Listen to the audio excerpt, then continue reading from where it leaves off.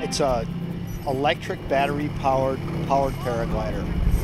As far as I know, there's probably 20 or 30 flying right now. Traditionally, you're flying with a gas engine, two-stroke motor with a 48-inch propeller.